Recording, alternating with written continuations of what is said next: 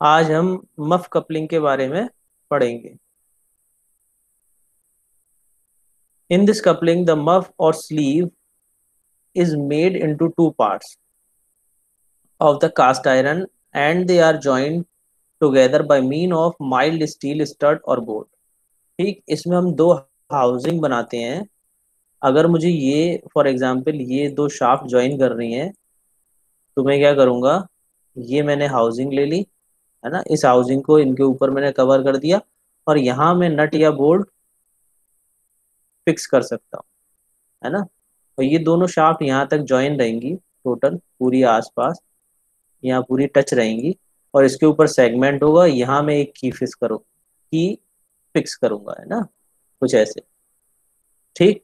The advantage of this coupling is the assemble dismantling of the coupling is possible without changing the position of shaft हम shaft की position change किए बिना भी इसे बदल सकते हैं एडवांटेज ले सकते हैं इसकी, है ना? असेंबल और डिसमेंटल हम इसे शाफ्ट की पोजीशन चेंज किए बिना भी कर सकते हैं इस कपलिंग कपलिंग को।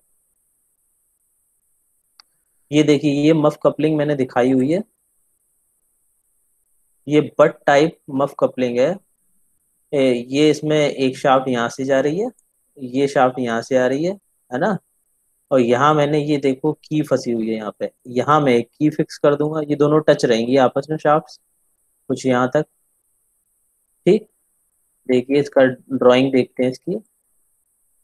ये देखिए, ये हाउसिंग है बाहर की आउटर ये शाफ्ट यहाँ पे टच हो गई और इस सेगमेंट में मैंने एक की फंसा दी, एक की फिक्स कर दी। ठीक? अब इजिली ये यहाँ से यहाँ पावर ट्रांसमिट हो सकती है ना? अब देखिए, यहाँ अगर मैं बात करूँ, इन दोनों को ज्वाइन कर कर रखा है मैंने यहाँ पे। ये देखिए कट सेक्शन बनाया हुआ है मैंने। अब इसमें मैं डी की वैल्यू आपको कुछ दूँगा और आपको ये दोनों व्यू ड्रॉ करने होंगे। ठीक? वो डी की वैल्यू कुछ भी दे सकता है आपको। यानी कि डी मेनली डी की अगर मैं बात करूँ तो ये क्या होगी? शाफ्ट का डायामीटर तो अगर एग्ज़ाम में डी की वैल्यू थर्टी एम mm आती है तो आप थर्टी एम mm लेके कैलकुलेट करेंगे, है ना? ये सारी जो भी डायमेंशन निकलेंगी, वो आप उस हिसाब से इसको ड्रॉ करेंगे। यानी कि वो एग्ज़ाम में प्रॉब्लम में डी की वैल्यू देगा या इनकी प्रॉपर डायमेंशन देगा। जैसे 1.5 डी है तो इसको इनटू करके देगा, है ना? ये कितना है? 20 है 30 है 40 है। बट आमतौर पे इनके प्रश्न डी की वैल्यू देकर आते हैं। एज यूजल ज़्यादातर इन्हें डी की वैल्यू देकर ही पूछा जाता है। यहाँ आप फिक्स कर देंगे, है ना?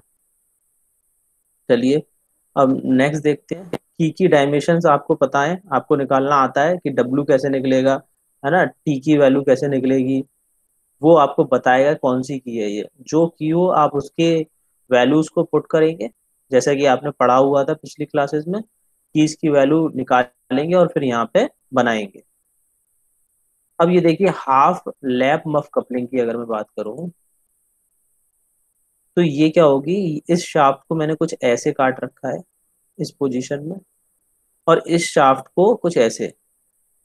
और फिर उसके बाद मैंने क्या किया? दोनों को ओवरलैप कर दिया। ठीक? और मैंने यहाँ से इसको हाउसिंग के थ्रू फिक्स कर दिया। तो ऐसी टाइप कपलिंग को, इस शेप की कपलिंग्स को हम हाफ़ लैप मफ कपलिंग बोलते हैं। इसकी ड्राइंग देखते हैं, ये देखिए। ये इसकी ड्राइंग दे रखी है इसमें है ना? सेम वैसी है, बस शाफ्ट में हमने क्या करेंगे, ऐसे ओवरलैप कर देंगे इस शेप में कुछ। ठीक? इस शेप में। यहाँ पे भी वो क्या करेगा, एक डी की वैल्यू देगा फोर्टी दे दे थर्टी दे दे, जो भी आपको वैल्यू दे, दी गई है, उससे आप पहले डायमेंशन निकालेंगे और फिर ये फिगर बनाएँगे। ठीक? ये मैं स्प्लिट मफ कपलिंग देख रहा हूँ। स्प्लिट मफ कपलिंग में हम क्या करते हैं यहाँ स्टड या नट बोल्ट भी फिक्स करते हैं। ठीक? ये देखिए वर्किंग सबकी सेम है बट कंस्ट्रक्शन चेंज हो रहा है। ये देखिए, यहाँ इसने ये स्टड डाल रखी है। है ना? माइल्ड स्टील के स्टड होंगे, ये हमने फिक्स कर दिए और सेम उसी फ़ैशन में हमने, उसी स्टाइल में ये शाफ्ट को फिक्स कर रखा है, जैसा कि हमने बट के केस में देखा था। ठीक? तो ये इजिली फिक्स हो जाएँगे। अब non rigid old same coupling पढ़ने से पहले, अगर आपके मफ कपलिंग में कोई भी डाउट्स हैं तो वो आप पूछ सकते हैं।